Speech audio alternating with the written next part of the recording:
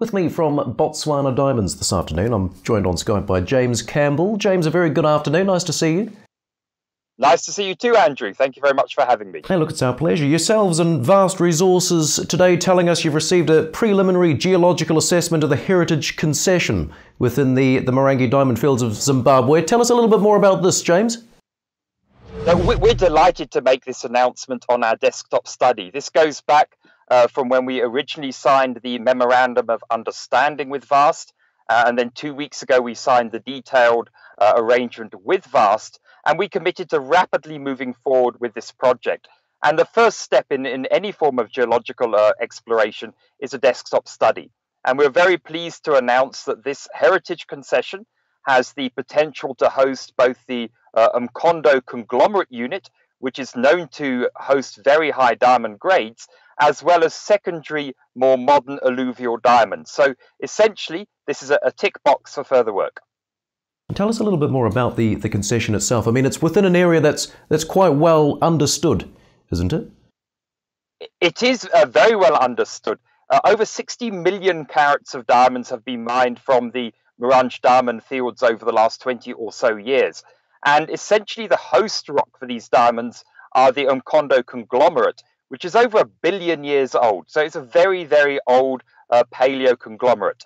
The origin of these diamonds, the kimberlites, uh, uh, which uh, basically imparted the diamonds into the conglomerate, have long since disappeared.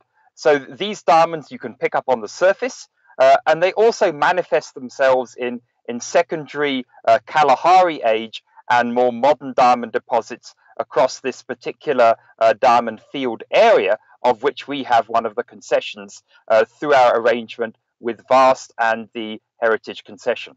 Just tell, tell, tell me a little bit more about the, the deal that you've made here with Vast Resources.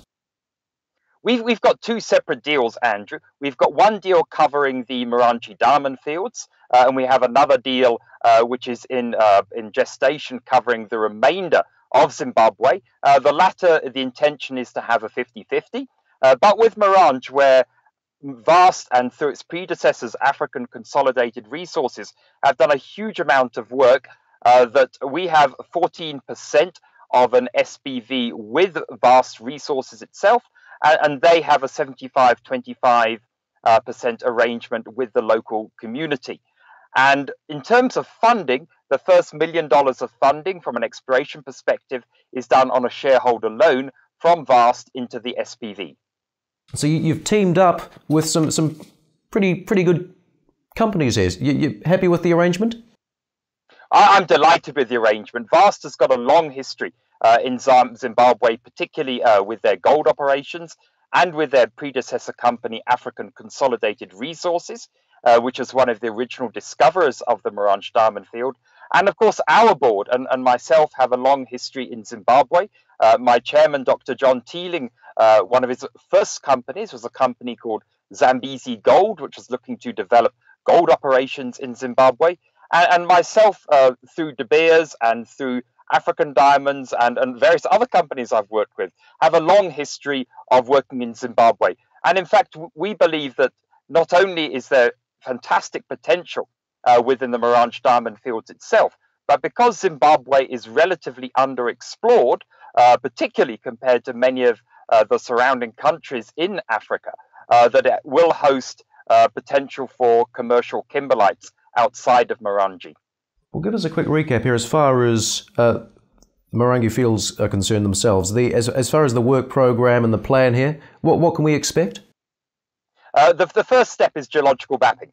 Now, following the desktop study, we'll get boots on the ground and we'll start confirming the, the presence of the, uh, the paleo gravels and the more modern gravels. This will be rapidly followed by a, a series of geophysics uh, and drilling uh, to look at the, the vertical extent of these gravels. And then, assuming all being positive, and we have no reason to believe anything but this, we'll move into trial mining or, or bulk sampling. And with this, this will be, be uh, how we will generate our inferred resource, as well as generate some much needed income too as well. And you'd be keen to, to get this moving as, as quickly as possible? Absolutely. I, I actually hope to be in Zimbabwe next week to start getting things moving. Well, did you had a meeting last week? You were meeting with the uh, at the African Mining Summit, speaking to the Deputy Minister of Mines. They're quite a promising discussion, from what I understand. It was a promising discussion. The meeting was actually held in Gaborone, which was lovely. Uh, the Minister of Mines of Botswana uh, hosted the meeting, and we had the ministers and deputy ministers of mines from many various African countries.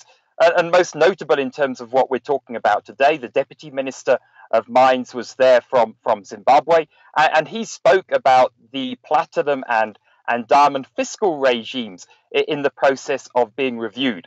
Uh, many of your listeners will know that at the moment uh, there is a 51% state requirement for both platinum and diamonds, but nothing for everything else. And I think the government, under the, the new dispensation, are having a hard look at this so as to uh, ha- create greater attraction uh, for overseas investors. Well, a lot to look forward to. James, thanks for your time. Nice to see you. Thank you very much indeed for your time too, Andrew. A great pleasure.